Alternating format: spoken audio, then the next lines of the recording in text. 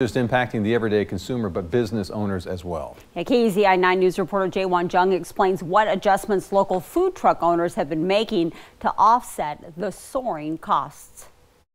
Every little thing, it's just gone up. The price like twice, three times from the uh, the price from before, and the food, uh, the produce, it's been extremely expensive. The sticker shock is real, and food truck owners in Eugene are feeling the pain. A bag of flour when I started was for 450. Now it's 11 bucks.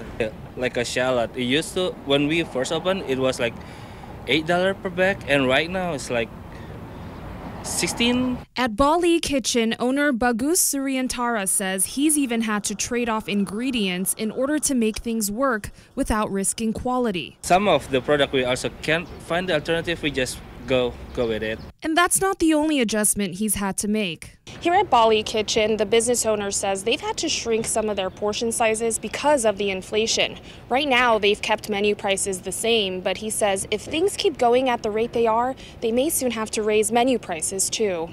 Bing King owner Jackson Hoyt says they've also had to reduce portion sizes and price hikes may come next. Uh, yeah, don't be surprised if places are raising their prices. And it's not just food costs causing problems. It's everything. To go boxes are like for the sleeve, it used to be four dollars to buy the sleeve of this is just boxes. And it's twenty bucks for that sleeve that I used to pay four dollars for. The wage of employees has gone up. So it's like it's everything. Oil, gas, propane. Propane's higher than ever right now. Taqueria Don Miguelito is one business that chose to raise their prices instead of shrinking their portions.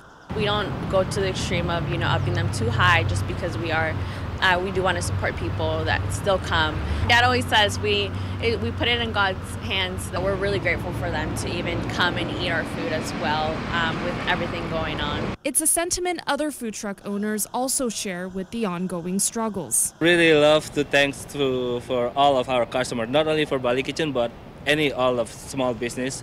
And until things get better, just be patient with us. Reporting in Eugene, Jaewon Jung, KEZI 9 News.